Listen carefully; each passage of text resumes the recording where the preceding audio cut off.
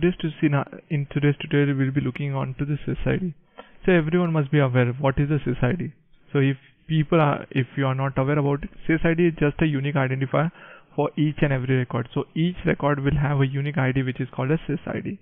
Okay. So today we will be looking into some use cases um, with respect to SysID.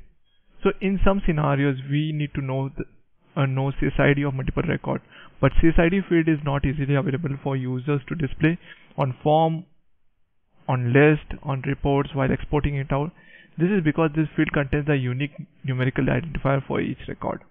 If the SysID ID is modified or deleted, this will lead to bad data or data loss. Okay. The the below method can help you retrieving the SysID or displaying the SysID on the form list and exporting it out. Okay? So let's go one by one on all the scenarios. Okay? So for today's tutorial we will be looking we will be taking help from the problem module. So I will just go to the problem problem dot dot list. Okay? So this is where we can see the problem and we will go use case by use case. So let's take the first scenario if your business requirement is to make the SysID field visible on the list view. So this is a list view and if you want to make the SysID visible over here. So basically what we do, we go to the gear icon and we search for the field. Okay. And we, uh, we, we see this slush bucket, we move from left side to right side and done. It's, it's visible on the list view. But if we try to search for SysID, I don't think we can find the SysID over here, right? So how to bring SysID on the list view? So it's pretty simple. Okay. First of all, what you have to do, you have to just navigate to system UI. So I will just go to system UI. In system UI, just go to the list. Okay, because we will be modifying the list view. Okay. Now here search the table on which you want to add the SysID field and op open it. Okay so basically I want to add it on problem. So we'll go for problem table. And here you can see all the views which are present for problem. So we'll be doing it for default view. So I will open the default view for the problem. Okay? Now in the in the list element okay click the new button.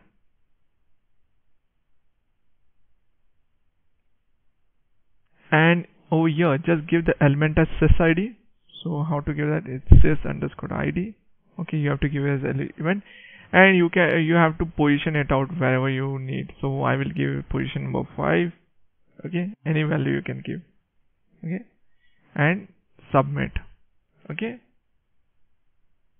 Now if i refresh the form let's see if it's visible. So it's not visible right now also right the reason is like if we are bringing the SysID on the list view right we have to just remove all our cache okay? So what we will do we'll go to the application menu and we will do cache.do okay? It will clear all the cache for the ServiceNow instance okay? Which we are working. So now cache is clear okay? Now if we go and refresh the form okay? Let's do it once So now you can see on the fifth number the SysID field is visible. Perfect. Now let's move to the next use case. If your business requirement is to make the SysID field visible on the form, okay. Now let's open one of the form. Let's see if it's readily available over there. So this is a live default view, okay.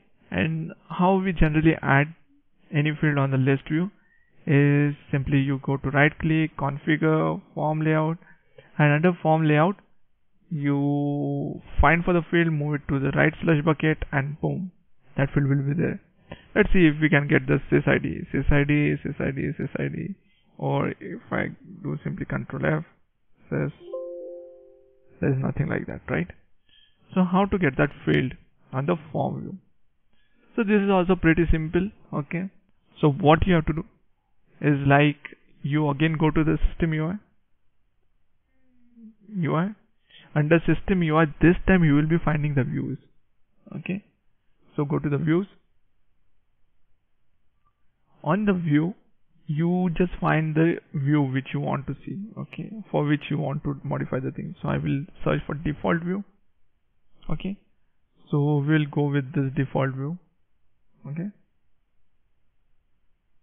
and under default view you can see there are form section there are 2767 form sections right? So you can find the table on which you want to define this thing. So I will give it as problem. Now I got the problem. Now wherever you see nothing right you have to open this out. Okay. So basically we will open this particular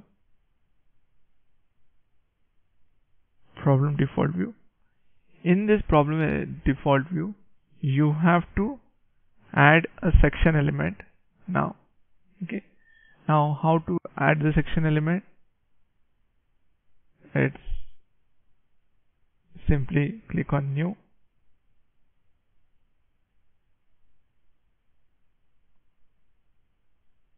Okay? And here you have to type as element as sys underscore id because we want sys id and the type should be element. Submit. Okay. Now we have added the sys id now again we have to follow the same step. We will do cache dot do Let's just let it just clear the cache. The cache got clear. Now if we refresh the form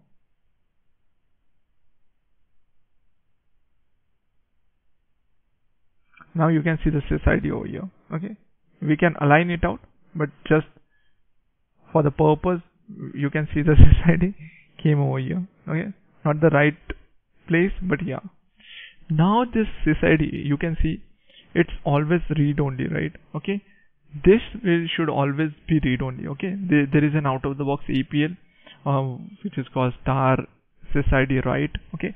Which prevents write access for all users even admins okay we should not do do not touch this particular now uh, ACL okay Please do not make this editable for any user as this could lead to a considerably high data loss issue. Okay.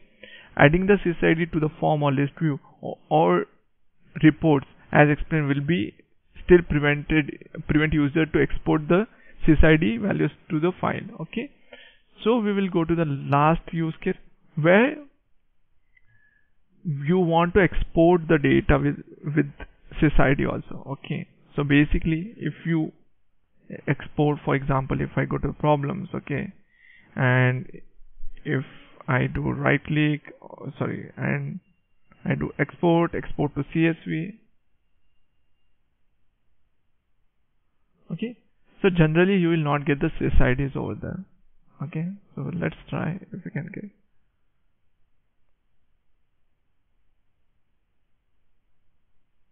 so It out it will open.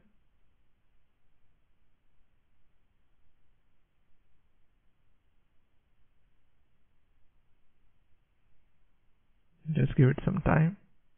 Okay and now you can see we have the sysid on our form on the list but we were we are unable to see that sysid right?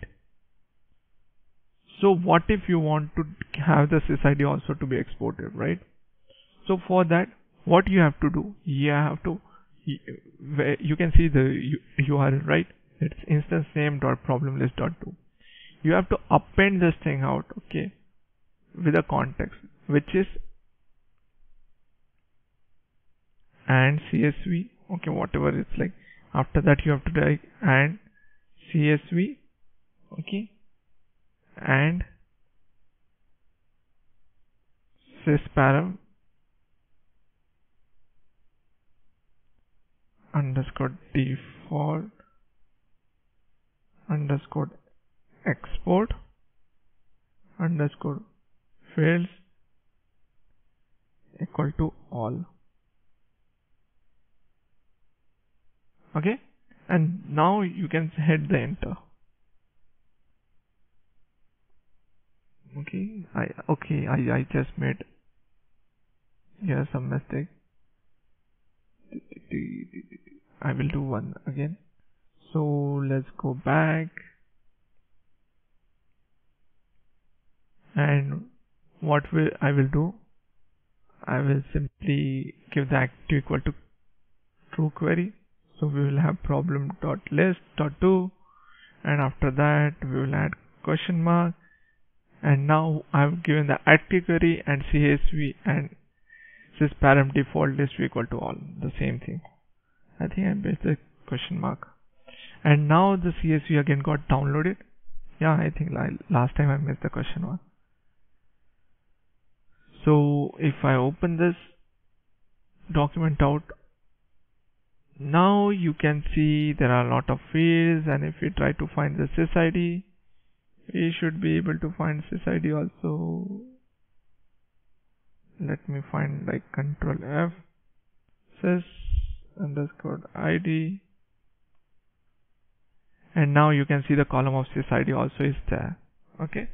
So this is case scenario but most of the time you need sys ID to have your data into sync right? Or multiple instances. So it depends on the requirements you are having in your project.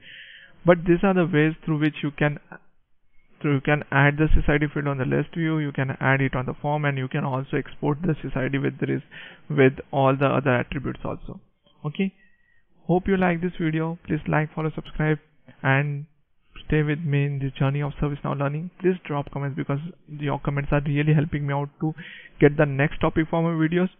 Till then, stay safe, stay happy and have a nice day. Thank you.